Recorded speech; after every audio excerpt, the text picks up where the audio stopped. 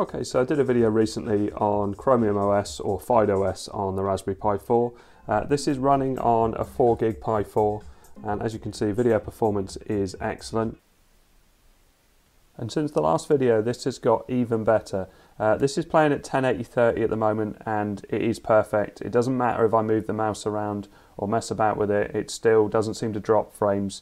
It's the best performance I've ever had on YouTube on a Raspberry Pi.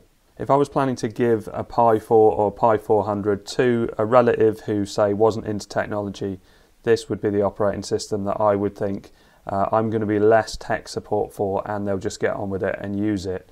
Um, now, I still would say Twister OS is my favourite OS on the Pi. Uh, I absolutely love it. But let's go through some of the changes that have happened on FydeOS in this latest update. And it's thanks to Matthew for letting me know about this update nearly a month ago now. But uh, the Pi 02W happened and I had loads of videos to make. And then Bullseye came out and I, have been meaning to get back round to this. You can see I'm overclocked at 2.2 gigahertz. Uh, it's running at 56 degrees at the moment. Uh, so, and I'm not using any active cooling, this is just using the Ice Tower cooler. So in the FydeOS GitHub, you can see here 27 days ago, uh, so fixed in this release. Fixed Linux apps with GUI does not display properly. This is excellent. So basically, Linux support in this. I showed it in my previous video how to get Linux up and running and how to install apps, but I could only get NeoFetch to work. Anything with the GUI wouldn't work. They do work now, and I've got some Linux apps on here now. Fixed Linux files under Files app does not display files and throws an error. Fixed annoying Bluetooth audio device stuttering issue. Uh, there's a console now, so overclocking is super easy. My last video showed how to overclock Chromium OS, which was not the easiest and it took me ages to work it out, even though I had some instructions. This is super easy. Fixed CPU temperature does not display properly. Uh, if I call this back up, you can see the CPU display is showing there. The current usage is very, very low. It actually stays really low when it's playing YouTube, and I'll show that in a minute. Other notable items, optimized hardware accelerated VP8, VP9 video stream decoding. You should now have smoother YouTube video, supports 1080-30 playback with much lower CPU usage. And it, I think it's really noticeable. It was already great before uh, for the Pi, but uh, it's better again now made Nano Editor available, which is much simpler again down to the overclocking. Uh, and you can see, and I'll show you how to get into the config.txt. But uh, it's a really, really good addition. Uh, it's an amazing update. Uh, I mean, this, as I say, is is a great operating system for beginners, for people who aren't into technology, but also people who just don't want to mess about with things. Things are just going to work for you and be very, very reliable. Uh, I mean, a lot of us like to tinker with Linux and, and install things and play around with it, and there's always that side. And this is the great thing about the Pi: you can have pretty much any OS you want on it, uh, and uh, and old or new OSs, and and really experiment. But if you just want something to work as a web browser, but also offer some of the Linux side of it, yeah, this comes together really, really well. So let's have a look at CPU usage when it's playing a YouTube video just to show you how low it is. So if I go into settings, I type in CPU, go to CPU usage, go to diagnostics. I can close this one down now. So you can see at the moment, what, 14%, 22%. Let's start the browser up. It's obviously going to go up as soon as you start the browser, 31%. Let's do a search for one of my videos and start that playing and call this back in. So you can see currently 78%, 93%, it went pretty high then. Uh, but once it's playing the video, there you go, so this is now playing a 1080 video. Watch how it drops on the CPU usage. See we're down to 20, 25% now. 32%, so really pretty low uh, for the Pi, uh, it's definitely handling that really nicely and the performance is great. So let's have a look at Linux and show you how well that works because that is one of the major updates. I was really pleased to see this had been added.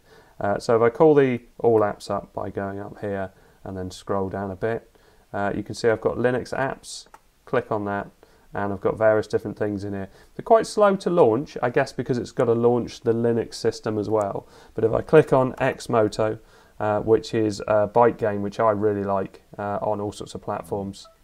Oh, actually, that started really quick. Uh, it's because I started Linux earlier on. But if I go to Levels, Challenge Cup, let's just just pick some random. There you go. Ski ski jump sounds interesting, and hit play.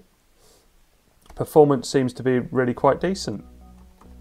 So it's nice and responsive with the keyboard. Uh, the music is absolutely fine.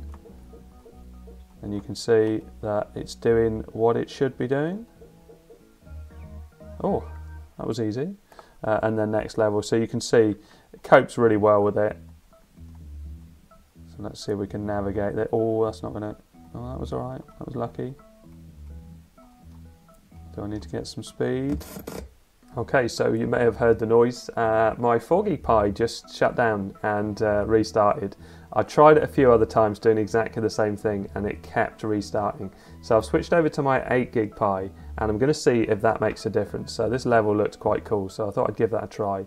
Uh, and I thought I'd leave the CPU usage and the temperature on the screen at the same time so you can see what's going on. Let's see if that was what made it. Oh, well, I'm doing a bit better anyway. That. So what? I'm, try I'm trying to look at the figures. Right, I'll look at the figures afterwards when I edit. But this isn't crashing now. So I think I might continue the rest of the video on. Oh, quite! I didn't realise that was. Oh, how do I get through that? Just got to drop down there, have I? It looks like you drop backwards. Ah, oh, typical. Enter to try again. Uh, so yeah, it doesn't seem to be crashing on my 8 gig Pi. Whoop.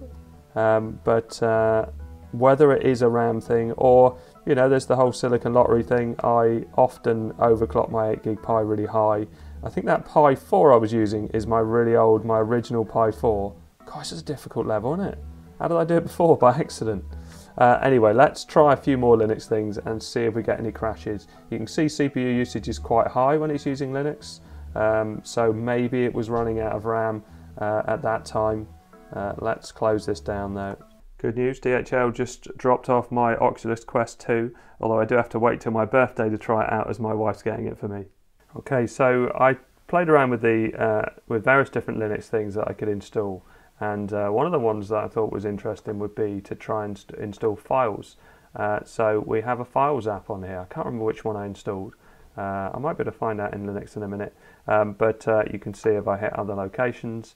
So that we have connect to server options here. We've got my network, although it doesn't seem to like my network.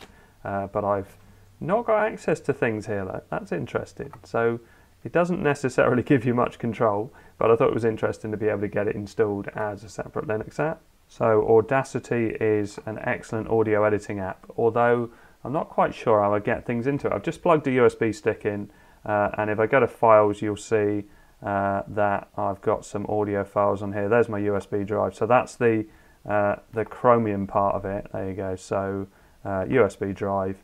So if I was to copy this one here, copy that, I wonder how I can paste it into something. So if I go back to my files, ah, Linux files is here, look. So can I just paste it in there? Don't know where that means it is, but let's try open. Ah, oh, there you go. So it's in. So I've got this whole bridge from Chromium OS into uh, into Linux. So if I open that, does that import like a normal track? Let's close. Yeah. So that looks like it's going to work. So let's. Is it space to start? Yeah, this is um, royalty-free music, so am I right to play it for a bit? But you can see that Audacity is working as it normally would. So what did I used to do? Fade in. Effect fade in. There you go. So let's go back to the beginning and hit play. Yeah, brilliant. So let's quit out of that and I'll say no. So all of that seems to be working absolutely fine. What happens if I try and play this? Open with audio player. Yeah, so we've got a little audio player there, so you can play music in the background. Does it give me a right click? Open with, look at that. So open with Audacity also comes up. So it can, it can open in a Linux app, that's interesting. I also have Firefox. So I've installed Firefox in Chromium, which I thought was an interesting thing to do. Be interesting to see what the uh, CPU usage is. You can see some things do, for the first time, do seem to take a while to start up. And to rub insult to injury, let's do a Bing search. So Bing, and let's do a search for Google. It's a nice background. There you go. Give with Bing. Uh, and if I was to just call up something like Hot UK Deals, which I often do, just to see what's there. Half price Oculus Quest probably. But as you can see, Firefox seems to be working alright. Uh, so let's close that down and let's try something else, Linux. What else have we got? Is there anything else? Yeah, I've got GIMP on here as well. So let's let's start that up. Uh, so this is for images. So I could do with getting an image. Uh, oh, this, uh, would there be something on my USB stick? There might be something on my USB stick. So into the USB. You see, it as an operating system, it does work well. It's not struggling with anything. Oh, there you go. So that's just a uh, one of my old screensavers. So let's copy that. Go to my files. Go to Linux files. And paste it in there. So now let's see if GIMP has the same experience when we try and open it up. Recently used Leapius. Oh, there you go. Look. Bubbles. Open and there's a background. And if I go into terminal and show you some of the commands I use to install a few of the things on here. Uh, so terminal, so you can see sudo apt install gimp, sudo apt install firefox-esr, sudo apt install neofetch, and sudo apt install xmoto. Right, let's show you the overclock bit. So if I go back, uh, let's close down, close down Linux and close down this settings app. So on the desktop, if I now press and hold Control Alt F1, F2 and F3, instantly it goes into this. Now if you type chronos now, you can see it comes up with a prompt and I can do sudo edit dash pi dash config and here it comes up. And so you can see here I can mess around with some of the settings in the config.txt. Here are the overvoltage ones which I've been using. Uh, maybe I try a different setting with my 4 gig Pi, but my 8 gig Pi has been completely stable with this and has been working fine. So it might be just that my 8 gig Pi is better at overclocking. It has got the newer CPU uh, than the 4 gig. The 4 gig is the original one I had a couple of years ago or so now. And if I was to make a change, uh, so say for instance, I'll, I'll, just put a hash in here and test. Uh, and then if I do Control X, it's just like uh, on Raspberry Pi OS, so save modified buffer, so say yes and enter, and then that will make those saves. If you want to go back to the browser, you press Control Alt and F1. And quite quickly it goes back into the browser.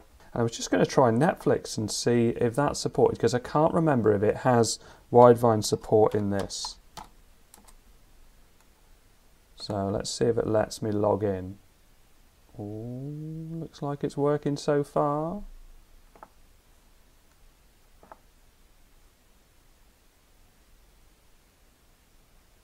It's definitely playing that. Let's pick something that would be playable. I do a bit, bit of Brooklyn Nine-Nine. Let's try this and hit play.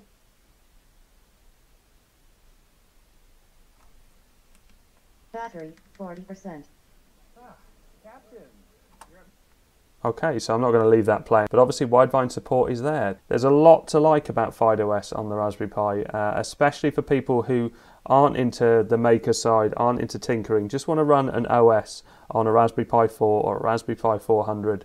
Uh, it's surprising how many things work on it and how well everything goes together. It's very straightforward, very easy. All the settings and everything are all easy to find. Uh, so yeah, I'm impressed with that. Anyway, I hope all this helps. Thanks very much for watching. Please like, and subscribe.